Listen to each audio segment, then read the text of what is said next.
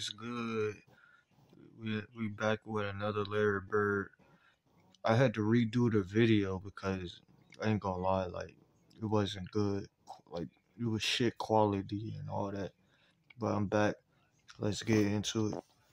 In the 1980s, Larry Bird and Kevin McHale were two of the most dominant players in the NBA, leading the Boston Celtics to three championships and establishing themselves as indelible legends of the game. But what many fans may not know is the complexity of their relationship both on and off the court. The legends were tight, but it still didn't stop Larry Legend from pranking his fellow Celtics star. I was uh, getting ready to start a game get up to the jump ball, and, and, and Larry said, you know, just, just out of the blue, he goes, Go ahead, Kevin, tell Elvin Hayes what you told me. And I didn't tell him anything. And I said, well, Go ahead and tell him. Like, you said you were to kick his ass. And I'm like, Oh, man. Damn, he told him that. that point, it was hard to say no. I didn't say anything. I said, oh, I guess so. But you know, Larry just got stuff started up. Larry is a funny guy. Charles Barkley is one of the most recognizable figures in the NBA. Not only was he a heck of a player, but he has also transitioned into one of the best analysts on TV a position that is enhanced by his wealth of knowledge and his overall experience. That being said, there was a time when even Sir Charles was just a young man looking to make a name for himself. And back when he first got started, Chuck was easily starstruck. Unfortunately, it was his youthful naivety that led him to be pranked. We're at my first All Star game and Kareem's sitting at the back. And Bird and McHale, I said, man, I, I want to go meet Kareem. I never met him. They said, go back there and say hello to him. I walk back, and he's back there reading. And I said, hey, Mr. Jabbar. He looks up. I'm reading. I said, okay. I turn around. McHale and Bird are laughing their ass. off. Damn, they son the hell out of you, dude. Kareem said, now I'm reading. Can you see? I'm, I'm reading my favorite book. And then they, they was clowning his ass. It was like, it got fat ass Barkley. Damn, that's they was clowning the hell out of him and shit. Damn. They knew it was Okay, okay, okay. Y'all got me good. Yeah. In Spike Lee's 1986 film She's Gotta Have It, Mars Blackman, a character played by Lee himself, refers to Larry Bird as the ugliest SOB in the NBA. This line caused some controversy at the time, with some people accusing Lee of racism. Lee later defended the line, saying that it was simply a reflection of Mars's character, who is known for his blunt and often offensive remarks. Lee also said that he respected Bird's playing ability, even if he didn't find him attractive. In 2022, Lee spoke on meeting Bird for the first time and the anxiety he had before meeting the legend. I tell a story about Larry Bird. My first film, my character, Mars Blackman, is having a discussion about basketball. White boy's bad, you gotta give him credit. And my character said not a nice thing about Larry Bird. He's the ugliest motherfucker in me, that's what he is. So the first. oh, shit. Damn, that's that's crazy. time Capital One commercials. It's a parrot. He's got a name. Larry Bird. Hey, guys. Larry Legend. Hey, who's that? My bracket buddy, Charles Barkley. The first Larry Bird. I'm like, oh man, life. So I was really nervous. I made a point that when Larry comes to the set, I'm gonna go to his trailer. So I knocked on the trailer. It was just him alone. I said, Mr. Burke, I come in. I was nervous. And I said, Larry, I apologize. Like anything, you know, that you might have taken offense to. He said, Spike, man, forget about that. We can dapped up. I, I, really want to say that because I was nervous. Terrell Brandon played for three. Yeah, like he wasn't worried about like the past and shit. Like he he's a grown ass man. Like he worrying about like moving on and shit. Like that's real. That's like real shit. So you gotta respect it. Teams during his 11 year career in the NBA. He's a two time All Star and was a key starter on three NBA franchises before a series of injuries ultimately forced him to play his last game at 31 years old. Brandon was selected 11th overall in the 1991 NBA draft by the Cleveland Cavaliers. After a strong rookie season, Brandon was named to the NBA All Rookie team. He spent his first three and a half seasons as the backup to all star point guard and Cavs legend Mark Price. In 2021, he recalled how badass Larry Bird was on the court, even at the end of his legendary career. Bird is a psychologically assassin. In what way, though? We was up one. He said, "Who's guarding me?" As we come out of timeout, I says, "Craig Ehlo." He said, "Why you got that white boy on me?" Time. Damn, he got offended. Another white boy was on. Damn. He was like, nah, this little ass white boy can't guard me or some shit. Damn. Don't put no white boy on me. He said, I'm gonna go over here and I'm gonna get in the corner. Dennis Johnson gonna pass it to me and I'm gonna hit the last second shot is oh, over. I told Joe Wilson, I said, hey man, listen, the ball is going the right, but everybody knows what ball's going right bird. Do whatever you can. Craig, Gerald, just cover him. He hit the shot on him with jumping on right. He was getting them off of him like this. He walked off and said, legend. Larry Bird, man. Larry Bird was a highly anticipated rookie when he joined the Boston Celtics in 1979. He had been a star at Indiana State, and he was expected to be a major contributor right away. However, Bird's arrival was not without its challenges. He was a white player in a league that was predominantly black, and he was often stereotyped as being soft or not tough enough. One of the people who was skeptical of Bird was Cedric Maxwell, a veteran forward who was already a key member of the Celtics. Maxwell had a reputation for being a tough player, and he was not afraid to speak his mind. In one of their first practices together, Maxwell quickly learned this Bird guy is something special. Got I walk in the first day of camp, them guys were on the floor stretching, and here comes the white savior, here comes this, here comes that. I think that you would say that most black players at the time were racist in in the sense that we did not think that you could find a, a white guy who could play better. I mean, I mean, he kept that shit real. I mean, at the at the time, I mean, like how they looking at it, like it wasn't no white American player that can hoop. Hell, even no white overseas player at that time. So I mean, shit. But he proved their ass wrong. Shit. Than any black guy. I sort of enjoyed it because I knew I was going to battle him all day. I'm thinking, oh, he's slow. He can't get off a shot. He's not that strong. Mhm. This is gonna be a layup. But Curtis and Sidney didn't last. Damn, that's insulting. that man said this is gonna be a layup. Well, let me post this skinny ass. Uh, oh, this is gonna be a layup. Hell nah.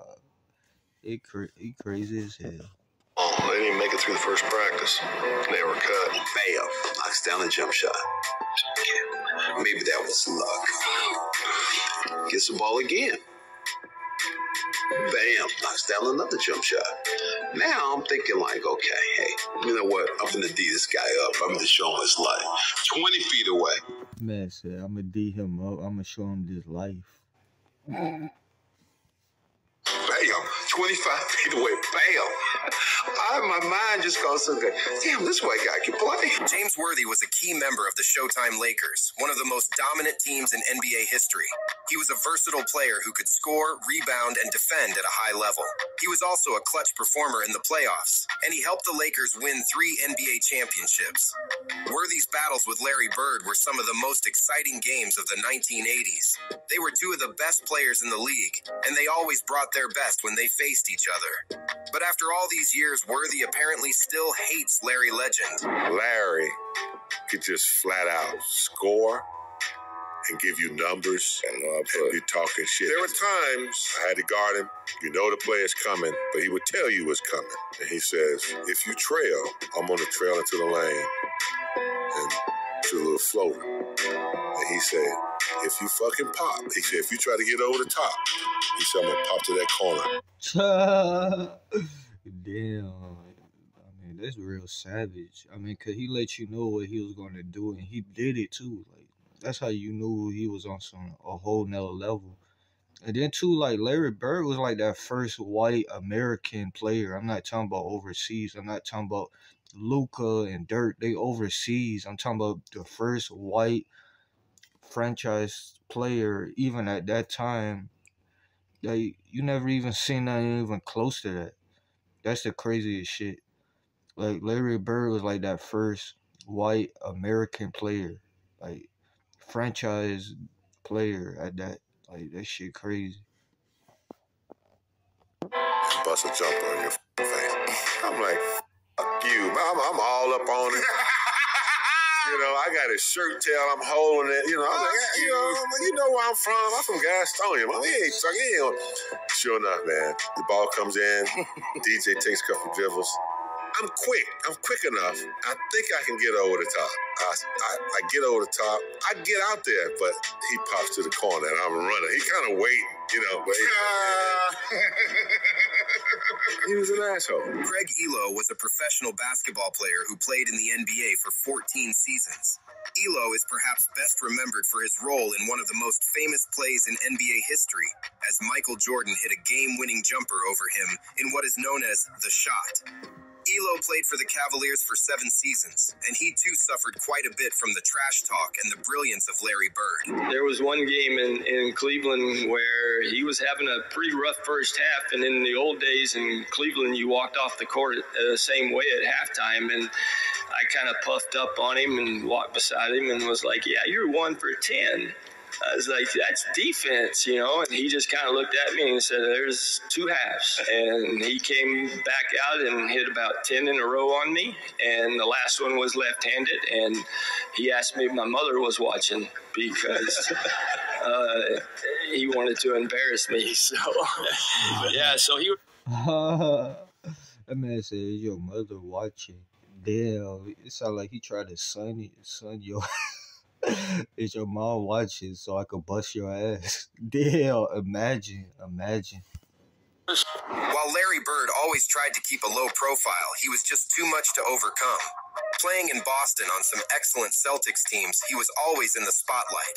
His three MVP awards and three championships, along with his trash talking ability, didn't help keep him out of people's mind, especially when he was playing against their favorite team.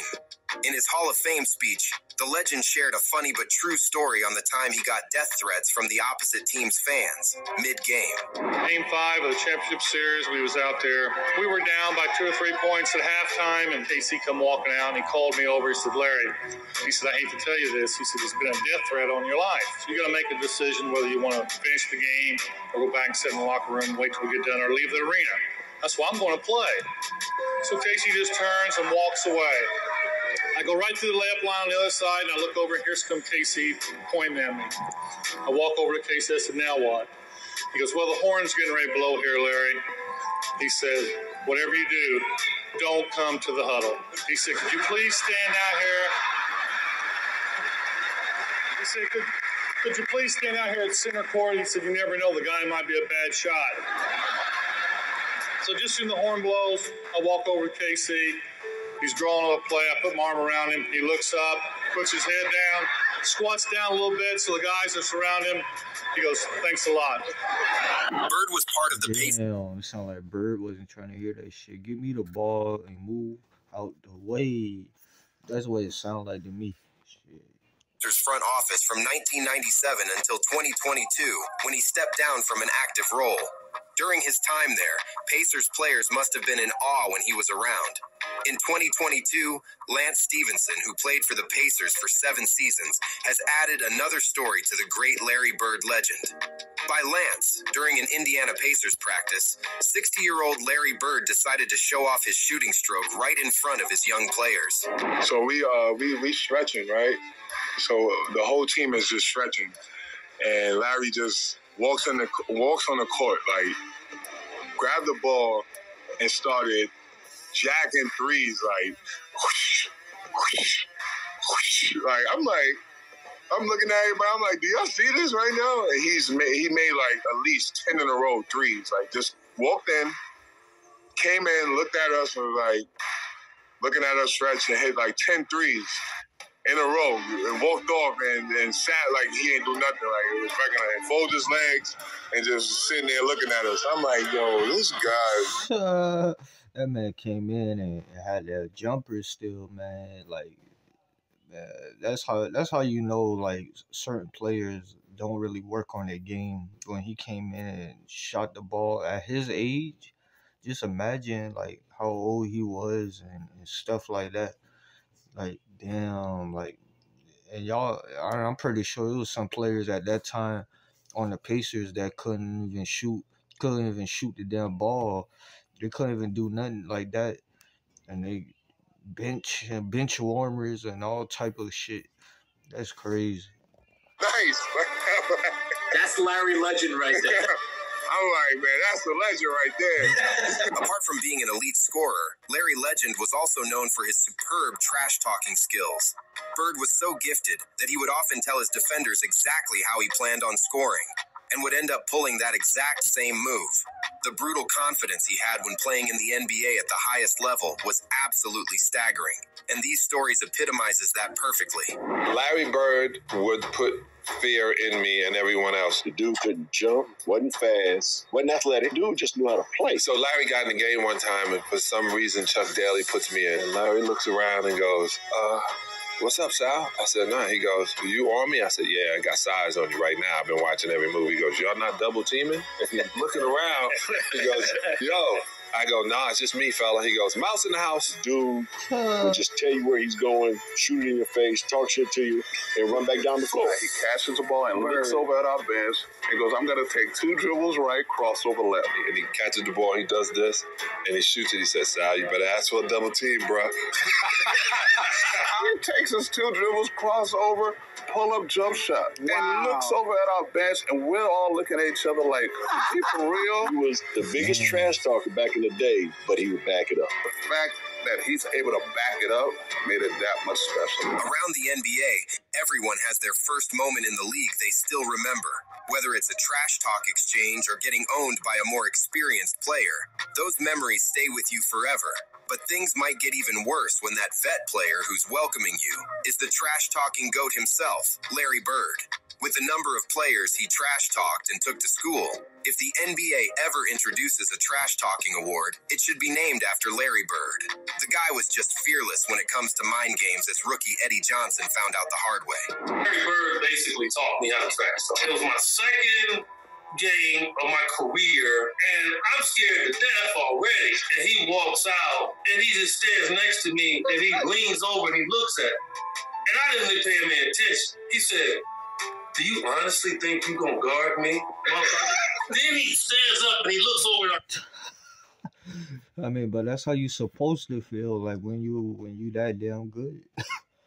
you feel like nobody can guard you. Like I mean, that's how you know you got confidence in your game. Like that's what anything. Like you have confidence, or you you you you you either uh, self made or you bitch made. Like he pretty much said, dude couldn't guard him. Like, cause you'll be surprised. Like a lot of people fit in the bitch made category. Like a lot of people fit in bitch made so, soft, soft as hell. They're not even uploading or nothing. Like, and you say you was gonna do TikTok. Like somebody said they're gonna do TikTok, and they don't even do it. Like they don't even keep their word. I mean, that's how you know they whack. They whack as hell in real life. They're whack. Bench, and he looks at Cotton. You all think this rookie gonna guard me? I'm gonna bust you up. Just right in my ear. Then finally he walks around, stands in front of me. Said, I'm gonna tell you something right now. I'm gonna wear your ass out. Game starts, and he's just wearing me out. And he came down, he said, I bet you can't do this. And he raises up from Steph Curry range. And he shoots an air ball. And I look at him, he like, that don't matter. It's the fact that I can do it and to stay in the game. Yeah, uh, he had the green light the whole game. He even said, "At least I could do that." Damn, yeah, a lot of players couldn't do that.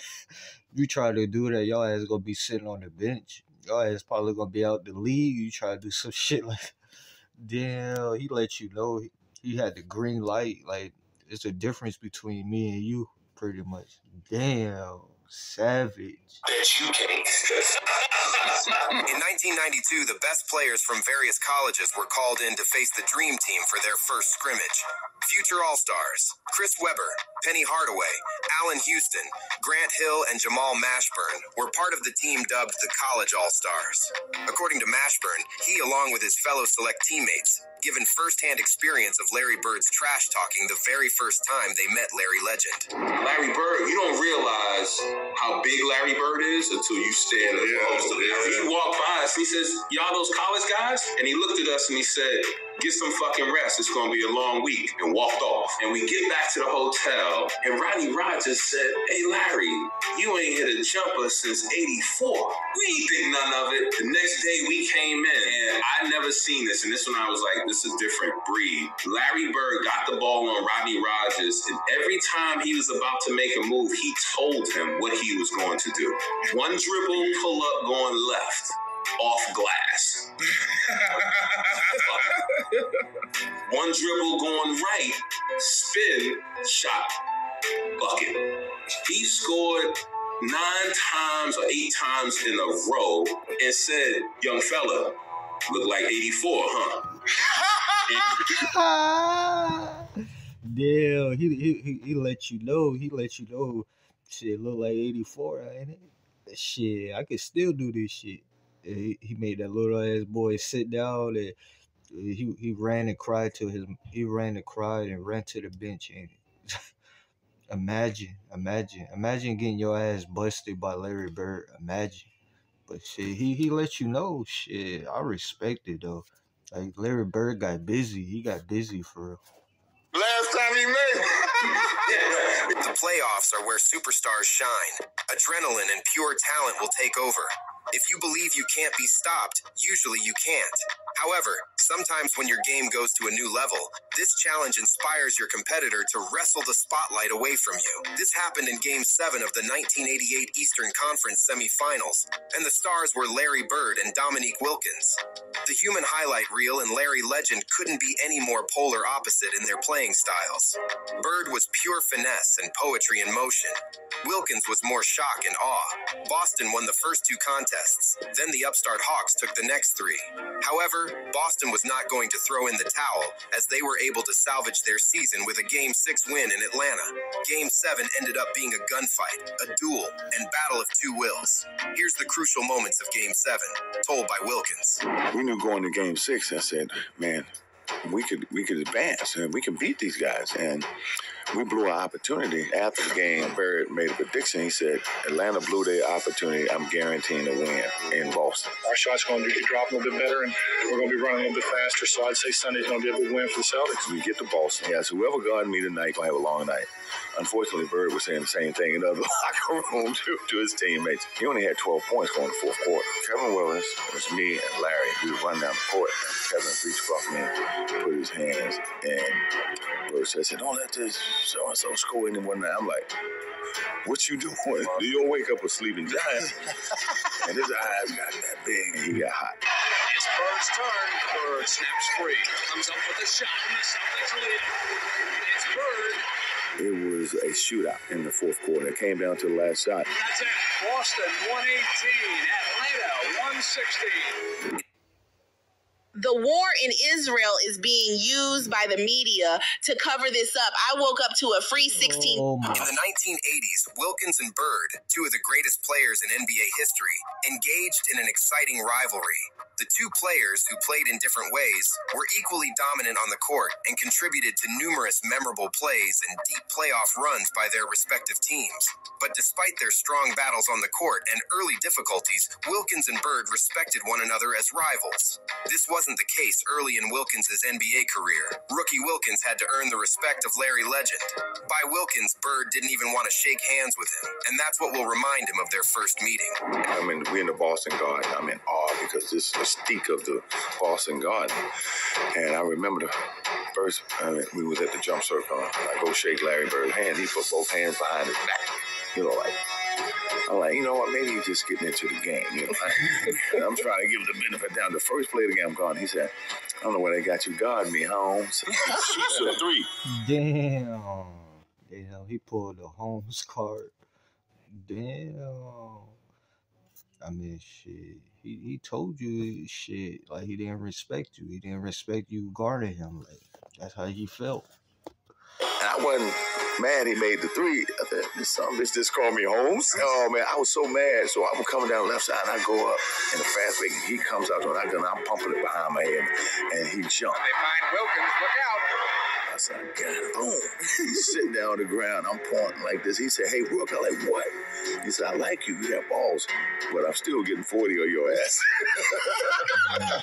Damn. He said, I'm still going to get dropped 40 on your ass. Damn. Bird and Magic Johnson started the golden era of the NBA during the 1980s. It continued in the 1990s as a myriad of basketball legends graced the hardwood, each leaving an indelible mark on the sport. Bird was the catalyst for countless tales shared by NBA legends of that era. From Magic Johnson's fierce rivalry to Michael Jordan's admiration, every basketball great from that time seems to have a Larry Bird story, a testament to his unique skill, determination, and enduring impact on the game they all loved. Here's another 90s legend telling a Larry Bird story the great Utah Jazz power forward Karl Malone. I remember sitting on the bench watching Kevin McHale and Larry Bird. And Larry Bird did something. To me, I'm still marveled at this. And he got so many people. It was a timeout. And one of our teammates, Bart Kofoed, had a camera. Right. He's taking pictures. So Larry Bird came over there and looked at our bench. And he said, uh, three pointer. From right over here. so I'm sitting over there looking like that Babe Ruth calling your shot already, right? Yeah. So Isaiah, I'm sitting there looking. He looked down at the floor. Hell, everybody looked down at the floor. He like, like he threw something. And he hit a three. Oh, can you believe that? And I remember Kevin kind of looking over at the bench like this gonna be a long night.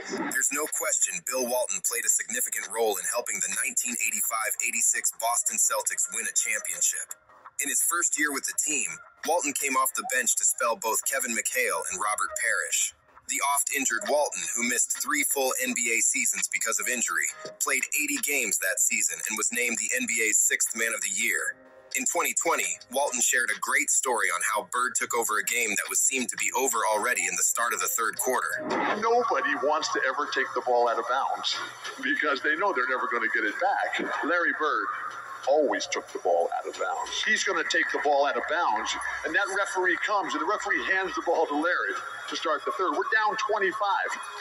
Larry takes the ball and pushes it back into the midsection of the referee so that he can't get away. And the referee is like startled, staggered. What's going on here? We're all right there, right in front of the Celtic bench. And Larry looks right into the soul, right through the eyes of that referee. And he says to him, We're not going to quit. You make sure you don't quit either. Just like. Shit, he was a competitor. Like you say, shit, don't rig this motherfucking game. that's that's pretty much what he was saying. Like shit, don't you quit. yeah, man. Hell no. But shit, that's how you know he was a competitor. Like he wanted to win. That that was the reason why he won three championships. Like you gotta give credit when it's due. like he was Larry Bird was him for real. Like fuck all the bullshit. Like Larry Bird was him. You gotta give credit when it's due. like like you can't be hating on him and and doing all that. Like that's goofy. That's goofy shit. If you hating on a legend, you gotta pay homage. You gotta pay homage. You can't be on goofy shit. Like it's, it's too many people that be on goofy shit. They be broke. Like they're not even doing that. Like, it it sounds like they just be scared. they be scared to, to walk out their house, their parents' house and shit. oh shit. He, he go ghosting. He go pussy in real life. He go ghosting pussy. But yeah, like Larry Bird was him. Like you gotta stop all the bullshit. Melted on the spot. Larry hit 11 straight shots to start the third, including seven threes. We were tied at the end of the third. We won in overtime. We did not need a plane to get home that night. Larry Bird, you're awesome. In 1986, the great Larry Bird won the NBA's first three point contest. Everybody knows about his famous flex when walked into the locker room and asked his peers, Who's coming in second? But after claiming victory and reuniting with his teammates, the sharpshooter was on a mission. If you bet against him, you were going to pay the the price. Literally.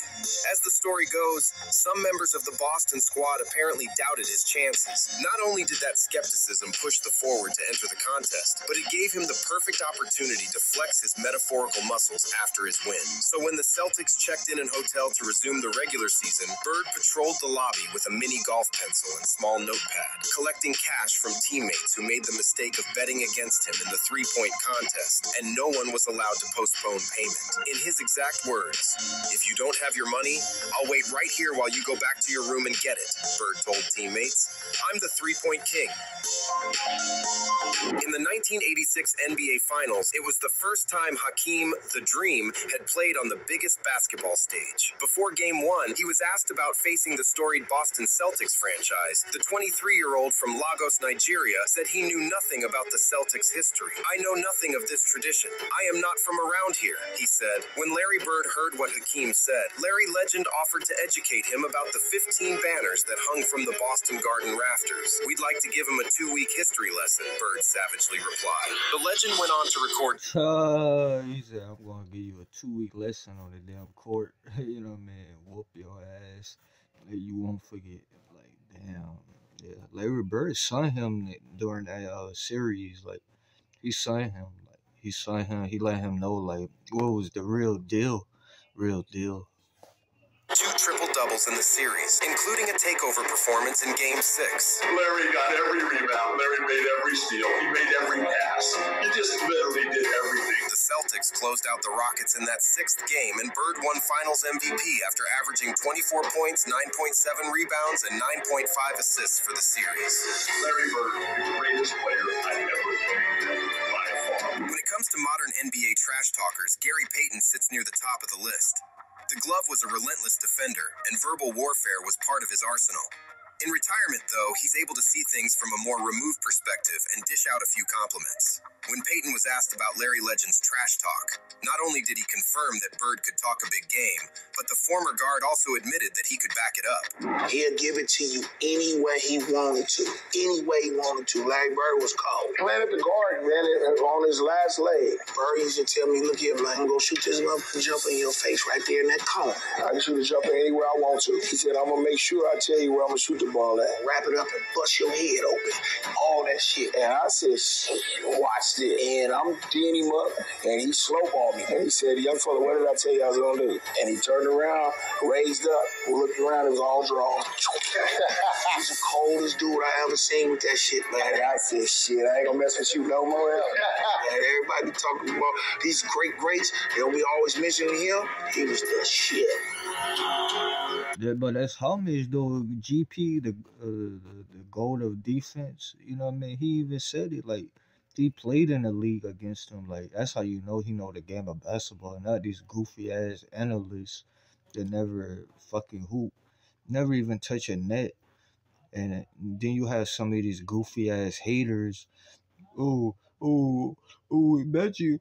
Oh, the the only oh Magic. Oh, this and that. And uh, bruh, let me know, bro. I I could pull up the video of a hater talking shit that he don't even know anything. Like he can't even shoot the ball his damn self. Like, like he can't even shoot.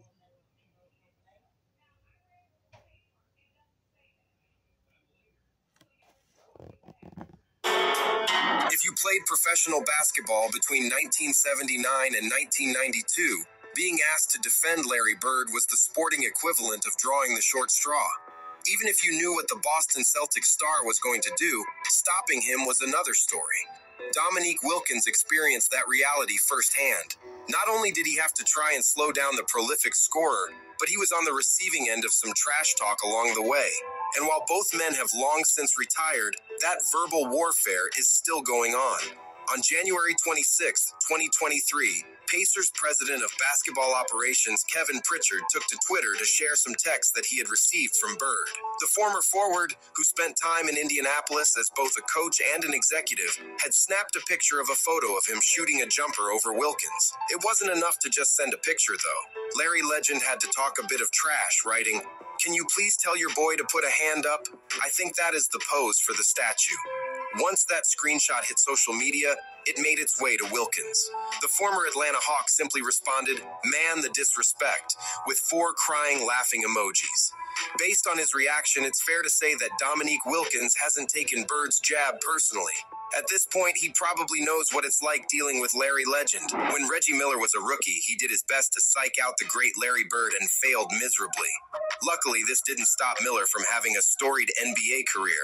He was even fortunate enough to play for Bird from Yo, like, comment, subscribe, share the video, bro. And to the haters, bro, kiss my ass, bro. Y'all not even on shit for real. Fuck the haters. Love the supporters, bro. The ones who unsubscribe, you wasn't never a day one. So it is what it is.